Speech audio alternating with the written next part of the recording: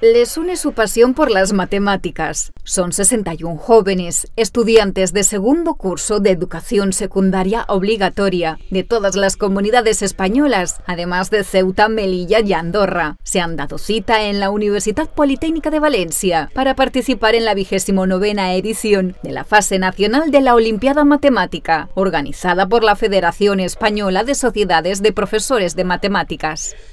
Son divertidas y para mí fáciles y sí, feliz. Aprendes cosas muy interesantes y útiles. Son divertidas, útiles para muchas cosas y no sé, son fáciles y sí, está muy guay.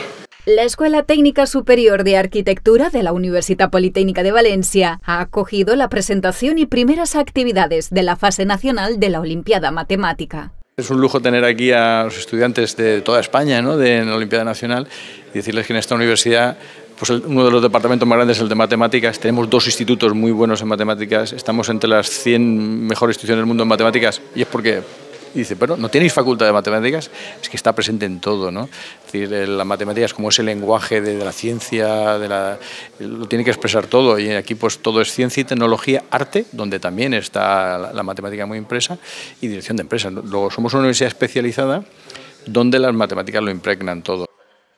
La Olimpiada consta de tres fases, provincial, regional y nacional. En esta última etapa, las actividades se dividen en pruebas individuales y por equipos. La competición individual, que es resolver una serie de problemas del nivel de segundo de secundaria.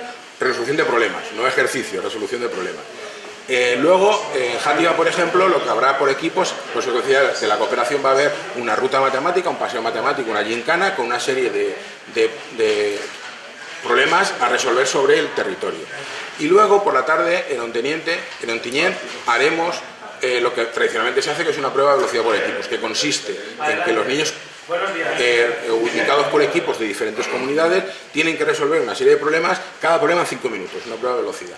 Pero no todos son problemas matemáticos, porque el programa también incluye actividades lúdicas y culturales.